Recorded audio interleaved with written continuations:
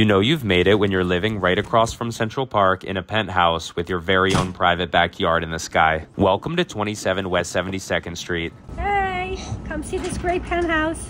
That's Lisa Lippman. She's real estate royalty. Can you believe the trampoline, the basketball hoop, the dining area, the gas grill, all just on the western portion? This is one of the largest outdoor terraces I've ever seen.